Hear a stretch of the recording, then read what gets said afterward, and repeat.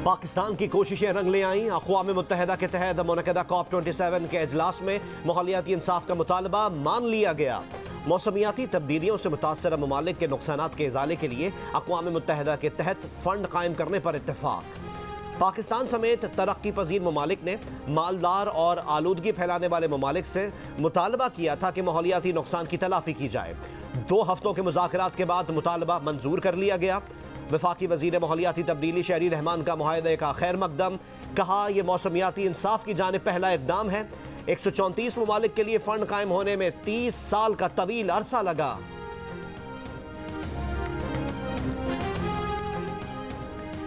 सिंध भर के ग्यारहवीं और बारहवीं जमात के सालाना इम्तहान के नतज में ताखिर का सिंध हुकूमत ने नोटिस ले लिया। तमाम बोर्ड्स को सालाना इम्तहान 2022 के नतज एक हफ़्ते में जारी करने की हिदायत।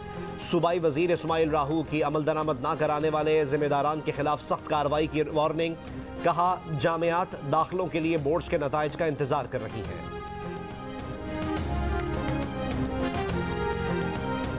अरशद शरीफ कत्ल केस के अहम किरदार वकार अहमद और खुर्रम अहमद तहकीकत में मदद के वादे से मुकर गए। पाकिस्तानी तफ्तीशकारों ने बाबा खत लिख कर भाइयों को मदद का कहा था। वादे के बावजूद दोनों नैरोबी में रिवर साइड रेजिडेंस की सीसीटीवी वीडियो देने में नाकाम रहे। तफ्तीशकारों ने अरशद शरीफ का मोबाइल फ़ोन और आईपैड भी मांगा था। पाकिस्तानी टीम नैरोबी और दुबई में तफ्तीश मुकम्मल करके वतन वापस पहुँच चुकी है।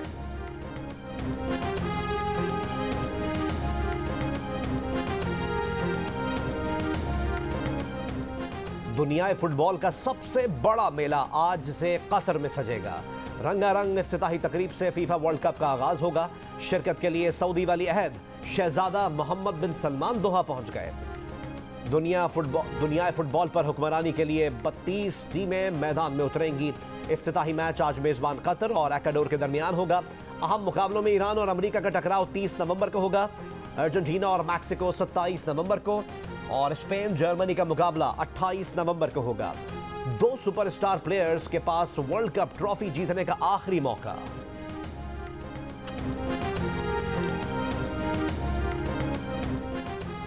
सदर आरिफ अलवी ने अगर आर्मी चीफ की तैनाती में रुकावट पैदा करने की कोशिश की तो उन्हें इसका नतीजा भुगतना होगा। वज़ीर खारजा बिलावल भुट्टो जरदारी का सदर आरिफ अलवी को दो टोक पैगाम। कहा वज़ीर आज़म जो भी आर्मी चीफ तैनात करेंगे, हम साथ होंगे। इमरान खान के लॉन्ग मार्च का मकसद आर्मी चीफ की तैनाती को मुतनाज़ बनाना है। इमरान खान की आखिरी मायूस कन कोशिश है कि इदारों को आइनी किरदार अदा करने से रोकें। इमरान खान का मकसद गैर जमहूरी खेल खेलना है। उसका नुकसान सिर्फ़ खान को नहीं, पूरे पाकिस्तान को भुगतना पड़ेगा। इमरान खान और तमाम कुतों को पैगाम देता हूँ कि ये खेल खेलना बंद करें।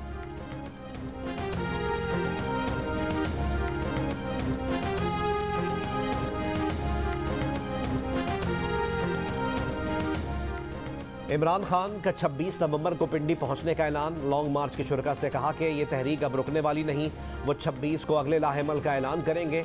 इमरान खान ने इस्टेब्लिशमेंट को, के हुकूमत गिराने का बयानिया बदल दिया और कहा, चलिए मान लेते हैं कि इस्टेब्लिशमेंट ने उनकी हुकूमत के खिलाफ कोई साजिश नहीं की, लेकिन रोक तो सकती थी ना। जानते तो थे, जानते तो थे ना उनका माजी। चोरी की सारी फाइलें तो पड़ी हैं एजेंसीज के पास। इमरान खान ने कहा, वो तीन साल वज़ीर अजम रहे हैं। इन्हें मालूम है कि सारी तफसीत एजेंसीज के पास होती हैं। तो वो क्या चीज़ हुई कि उनको दोबारा हमारे ऊपर मुसलत कर दिया गया? बैरूनी साजिश कामयाब हो ही नहीं सकती जब तक अंदर उनकी मदद ना हो।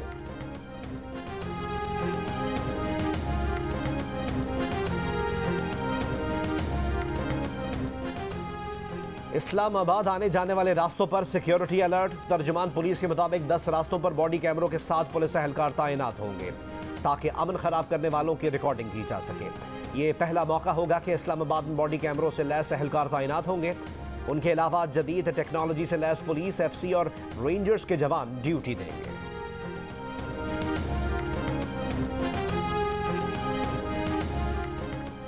मुमताज़ आलम दीन मुफ्ती रफ़ी उस्मानी की नमाज़ जनादा दारुल कराची में अदा कर दी गई। नमाज़ जनाजा मुफ्ती तकी उस्मानी ने पढ़ाई। सरबरा पी डी एम मौलाना फजलरहमान गवर्नर सिंध समेत सियासी और मजहबी शख्सियात और मदरसे के इस और तुल्लाब की बड़ी तादाद में शिरकत। मुफ्ती रफ़ी उस्मानी की तदफीन दारुल कोरंगी के अहाते में ही की जाएगी। पेशावर को दहशत गर्दी से महफूज बनाने और जराइम से पाक रखने के लिए शुरू होने वाला जदीद टेक्नोलॉजी पर मबनी मंसूबा। सेफ़ सिटी प्रोजेक्ट नौ सालों में भी मुकम्मल ना हो सका। रवा साल दहशत गर्दी केसेस में मुलविस छियासठ फ़ीसद मुलजमान सबूत ना होने पर अदालतों से बरी हुए।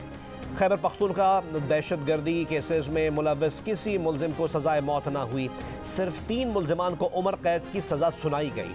प्रोसिक्यूशन हुक्म, प्रोसिक्यूटर्स की कम तादाद, मुनासिब तरबियत के फुकदान, जबकि कमज़ोर तफ्तीशी निज़ाम को बड़ी तादाद में मुलजमान के बरी होने की वजह करार देते हैं।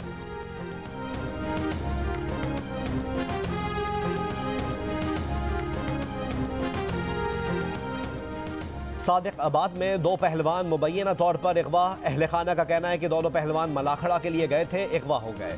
मुगवी हाशिम खान और राहील खान को बाजियाब कराने का मुतालबा। पीपल्स पार्टी के रुकन पंजाब असम्बली मुमताज़ चांग ने पुलिस पर डाकुओं से मिली भगत का इल्ज़ाम लगा दिया। सखर मुल्तान मोटरवे और उबाड़ो कश्मोर रोड पर एहतजाज और धरने का ऐलान।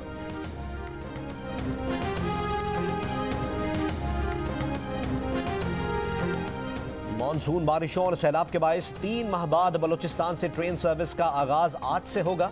मच से पिशावर के लिए चलाई जाने वाली जाफ़र एक्सप्रेस के मुसाफिरों को बसों के ज़रिए कोयटा रेलवे स्टेशन से मच तक पहुँचाया जाएगा।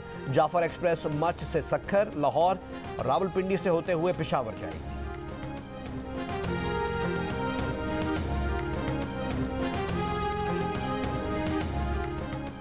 गजर समेत बालाई इलाकों में शदीद बर्फबारी का सिलसिला शुरू, कई रबता सड़कें बंद महकमा मौसमियात के मुताबिक आज मुल्क के बेशतर बाला इलाकों में मौसम सर्द और मतला जुजवी अबर आलूद रहेगा।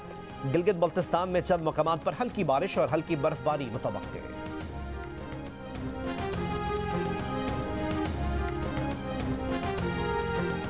सातवीं थल जीप रैली के फाइनल राउंड में प्रीपेड कैटेगरी के मुकाबले जारी। 40 से जायद रेसर्स हिस्सा ले रहे हैं।